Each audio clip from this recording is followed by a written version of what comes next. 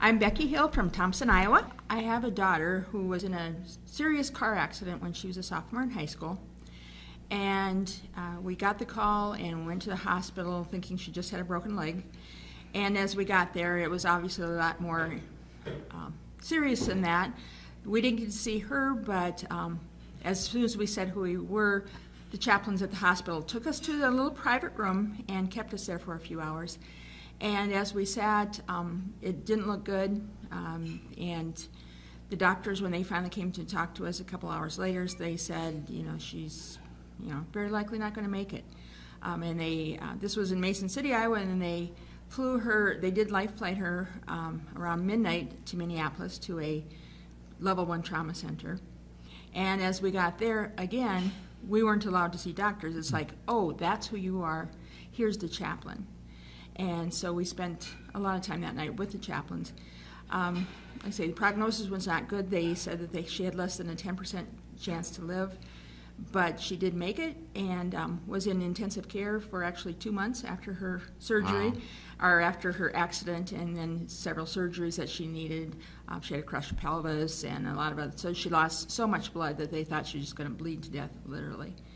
And um, as she came around, she was able to get through it. Um, she was in a wheelchair for a year. She was in the hospital for four months and then in a wheelchair for a year and finally started walking with crutches. And now, 10 years later, she's walking on her own. She's got a limp, she always will, but um, really, she's wow. been amazing. And I guess there was just so many things during that time that um, touched us and, and strengthened our faith. Yeah. Um, the one thing was that night of her accident. Of course, we live in a small town, and by, that was a Saturday night. And by Sunday morning, everybody knew. Mm-hmm. And by Sunday morning, um, obviously, our church was praying for her. I had mm-hmm. a nephew in Mexico City doing missionary work. His church prayed for her. Um, one in New York City, my nieces, their church prayed for her. I have a brother in Indiana, they were praying for her. And we learned later of many people that were just acquaintances with um, mm-hmm. all over the Midwest and, and all over the United States and world, literally, were praying for her. And so it just, you know, it just was so overwhelming, and mm-hmm.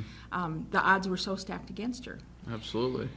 And um, some of the other things, you know, we also, I uh, teach at Waldorf College. Oh, yeah. And so, again, the whole Waldorf College community was yeah. so supportive and praying for her.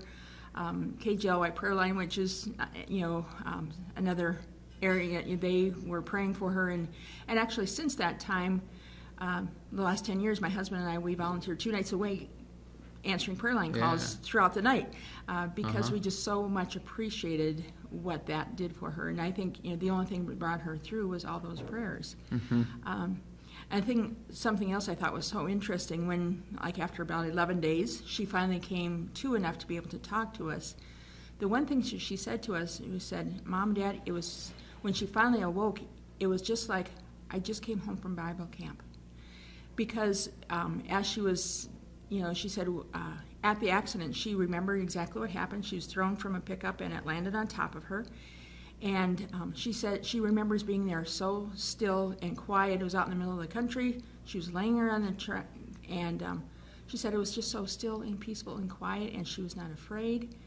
Um, mm-hmm. She could hear the music playing on the radio and saw all the stars above her, and God was there with her. Absolutely. And again, when she woke up, it was like, Mom, I just, I feel like I was at Bible camp because she was just so spiritually filled after that time. Mm-hmm. And God had been just there mm-hmm. with her the whole time. And there was even things that she almost felt like, you know, there were angels around her bed at mm-hmm. times. Um, and again, you know, who knows where that all mm-hmm. comes from. But mm-hmm. um, just such, you know, and, and, and afterwards, uh, she and, and she and I together, we spoke at many churches and other yeah. kind of youth, you know, because – her faith was so enriched, and like I say, and we had just so much support yeah. from congregations and everyone else. Well, that's that that's a very powerful faith story, and mm. thank you so much for sharing it. That's exactly what we're looking for. So okay. perfect. Thank you. Perfect. Thank you so much for You're sharing. Welcome.